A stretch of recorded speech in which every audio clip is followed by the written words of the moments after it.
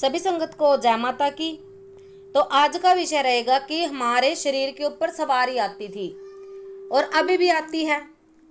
पर पहले क्या होता था कि सवारी बोलती थी, वचन सत्य हो जाते थे, लोगों का कार्य बना देती थी। हमारे घर में भी अन्न से, धन से, शरीर से, स्वास्थ्य से, हर प्रकार से जो है, बरकत होती थी। यानी कि हमारे कार्य भी नहीं रुकते थे और एक सुखी जीवन हम लोग जी रहे थे।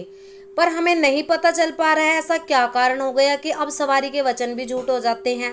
जो भी शक्ति हमारे ऊपर आती है, हमें नहीं पता कौन सी शक्ति थी वो, पर जयकारा किसी देवी का या देवता का अपना नाम लेकर के ही लगाती थी। यानी कि अगर किसी को आशीर्वाद दे देते तो वो आशीर्वाद फल जाता था। और हमारे घर के लिए अगर कोई वचन कर दिए कि इतने दिनों में तुम्हारे ये कार्य पूर्ण हो जाएगा, वो कार्य भी पूर्ण हो जाता था। स्वपन के माध्यम से पूर्वाभास हो जाता था। यानी कि अगर हमारे साथ कोई कार्य बिगड़ने वाला है वो भी हमें पता चलता था। कोई कार्य अच्छा होने वाला है उसके भी हमें शुभ संकेत मिलते थे। पर हम नहीं जान पा रहे हैं कि सवारी तो अभी भी आती है, पर जो वचन होते हैं वो झूठ हो रहे हैं। अब लोगों को कार्य ही नहीं बनता है। अब शरीर में दर्द भी रहने लगा है, पहले दर्द नहीं रहता था। अब हमारा पूजा पाठ करने को भी मन नहीं करता। हमारे मंदिर में धूल जम चुकी है, हमें ऐसा जो हम मंत्र जाप करते थे, पहले एक एक घंटा हम मंत्र जाप कर लेते थे, अब हमसे जाप नहीं करते बनता। अब पाँच मिनट भी हमें धूप दीप लगाने के लिए भी मन नहीं करता। तो ऐसा हुआ है। बहुत बच्चों के साथ हुआ है, किसी एक का सवाल नहीं है, ये कईयों के सवाल हैं। और कि हमें एक जो अपना जाप छोड़ करके, अपनी सवारी छोड़ करके एक लालच सा मन में पैदा हो गया है कि बस अपने काम की तरफ़ भागो, ये शक्तियाँ, वक्तियाँ कुछ नहीं होती। पर कुछ समय बाद हमें एहसास हो रहा है कि हमने अपनी शक्तियों को जो है छोड़कर, जो हमने नियम बनाए थे, उन नियमों को छोड़ करके गलत किया है। तो अब हम अपनी सवारी को, अपनी शक्ति को वापस कैसे पा सकते हैं, कैसे जागृत कर सकते हैं, इसका उपाय आप हमें बताएँ। तो सबसे पहली बात तो हम गलतियों की बात कर लेंगे, जिनकी वजह से शायद ये कारण हो सकते हैं कि आपकी शक्ति आपसे रुष्ट हो गई है। देखो जब आपने स्टार्टिंग में, शुरुआती दौर में पूजा पाठ शुरू करी थी, तब आपने किसी से नहीं पूछा था कि मैं ये पूजा या पाठ करूँ। आपके घर में कोई संकट आया, कोई दुख आया अपने माता रानी से या किसी भी इष्ट से अपनी अर्जी लगा दी, ग्यारह रुपए की या एक रुपए की। आपका कार्य वो संपूर्ण हो गया। हो गया ना? उसके बाद आप भोग प्रसाद भी चढ़ा करके आ गए। अब आपको लगा कि, अरे वाह भाई, माता रानी की पूजा करने से, अर्जी रखने से तो हमारा काम हो गया, माँ तो बहुत अच्छी है। और अब हमारे भाव उनसे जुड़ गए। ये शुरुआती दौर की बात कर रहे हैं हम। तो भाव जुड़ने के बाद क्या हुआ कि हमने उनकी जोत लगाना शुरू कर दिया, पूजा पाठ बढ़ा दिया। यानी कि उनमें मगन रहने लगे, भजन सुनने लगे, हमें बूफर लगा कर भजन लगाना अच्छा लगता था।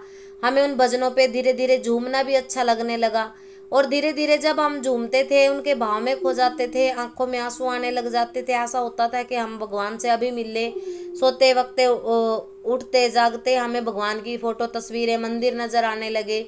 ये भाव से कनेक्ट हो गए हम, यानी कि मन से जुड़ने लगे उस शक्ति के साथ। अब क्या होता है कि कुछ समय बाद हाजिरी के रूप में, सवारी के रूप में उस भगवान की ऊर्जा, उसके कण, उसकी तरंग हमें मिलने लग गई। और वही सवारी थी कि प्रसन्न होकर के उसने अपनी कोई तरंग, अपनी कोई ऊर्जा हमें बख्श दी।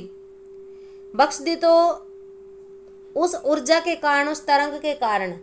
अब हमने अपने नियम बना लिए कि मैं अपने इष्ट के नाम के, अपने माँ, सवारी शक्ति जो भी है उसके नाम के व्रत करूँगा, या व्रत करूँगी।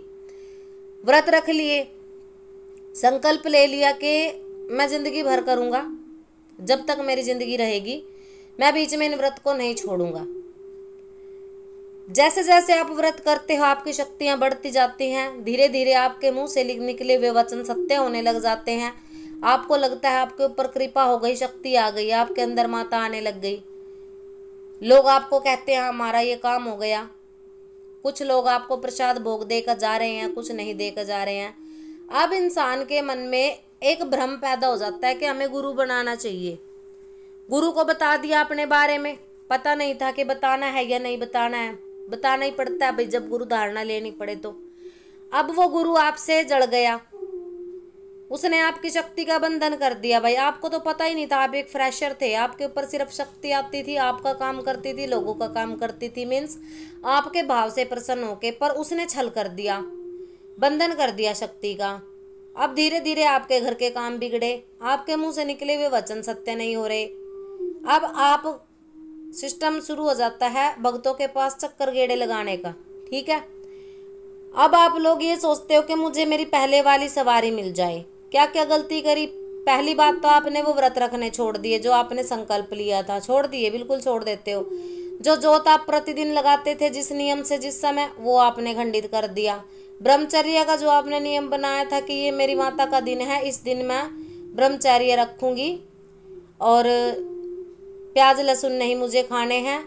अगर आपके घर में तामसिक अंडा मीट का प्रयोग होता है तो इस घर इस दिन हमारे घर में नहीं बनेगा। बहुत लोगों ने कहा कि हम मंगलवार, शनिवार को हमारे घर में ये चीज़ें यूज़ नहीं होती, बाकी दिन हम खा लेते हैं। पर धीरे धीरे क्या हुआ कि घर में एक दिन शनिवार को तड़का लग गया और अचानक से उसका भी मन कर गया, जिसने नियम बनाए थे और उसने सोचा कि छोड़ो, जब बन ही गया तो खा भी लेते हैं। जो नियम आपने बनाए, वो नियम आपने खंडित कर दिए। कई गलतियाँ, कई भूल ऐसी हो जाती हैं इंसान से कि उनकी शक्ति रुष्ट हो जाती है, सवारी रुष्ट हो जाती है। और कई बार बंधन हो जाता है भाई गुरु के द्वारा जिन्होंने गुरु बना लिए। अब उसको कैसे पाए? सवाल ये उठता है कि अब उसकी वो कृपा कैसे हासिल करे? देखो भाई, जो चीज़ आपके ऊपर प्रसन्न होकर आपकी भावना से आई वो चीज़ रुष्ट होके जा चुकी है, अब वो आपको नहीं मिलेगी। आपको अब केवल एक वहम है, एक ऊर्जा ही आपके अंदर है। वो अब बोलती नहीं है, वो अब वचन नहीं करती है। क्यों? जो बोलने वाली, वचन करने वाली शक्ति थी, वो तो जा चुकी है। और भगवान जो चीज़ दे देता है, वो कभी लेता नहीं है। ठीक है, सवारी दी थी, सवारी आपके पास, जस की तस आ रही है, पर कृपा नहीं आ रही। क्यों? क्योंकि आपके इष्ट आपसे रुष्ट हो चुके हैं, आपने अपने नियमों को भंग कर दिया है। आपने लालच कर लिया है उस शक्ति का। बहुत माता बहनें रो रही हैं कि हम बड़े बड़े दरबारों से बड़ी बड़ी गद्दियों से जुड़े और हमने बहुत पैसा दिया और एक समय के बाद हमारी शक्ति भी गई, हमारा पैसा भी गया। तो ऐसे लालची लोग भी हमारी शक्तियों के साथ छेड़छाड़ कर देते हैं और कई बार हमारी पैतृक सिद्धियाँ हमें मिल जाती हैं। हम पूजा पाठ भी नहीं करते, कभी कुल में कोई पूजा पाठ करता था, वो शक्ति आ जाती है। हमें उसके नियम ही नहीं पता होता। हो सकता है वो सात्विक पे पूजते हो, हम तामसिक पे चलने लग जाते हैं। हो सकता है तामसिक लागो हम सात्विक पे चलने लग जाते हैं। उनको जब प्रॉपर भोग प्रसाद नहीं मिलता, तब वो शक्तियाँ भी हमारे साथ ऐसा खेल रचाती हैं, हमें पता ही नहीं चल पाता कि क्या चीज़ है। तो ऐसे बहुत सारे कारण होते हैं जिनकी वजह से हमारी शक्तियाँ रुष्ट हो जाती हैं, बंधन लग जाते हैं, खंडित हो जाते हैं। अब इसके लिए आप जिस भी शक्ति की पूजा करते थे, आपको उसी शक्ति के नाम का कहीं किसी गुरु से हाथ ले करके मंत्र ले करके दोबारा से सेवा पूजा करनी पड़ेगी। यही एक उपाय है। सेवा पूजा करके अब उन मंत्रों को जागृत करो, उस शक्ति को अपने गुरु के हिसाब से जागृत करो, तभी वो मिल सकती है, अन्यथा नहीं। तो आशा करते हैं आपको जानकारी पसंद आई होगी। मिलते हैं किसी नई जानकारी के साथ। और जिन लोगों के ऊपर सवारी आ रही है, आपने अपने नियम को खंडित ना होने दे। अगर नियम खंडित हो चुके हैं, सवारी दोबारा पाना चाहते हैं तो भाई कोई ना कोई गुरु धारण करें। अपनी शक्ति की सेवा में लगे रहें, सभी को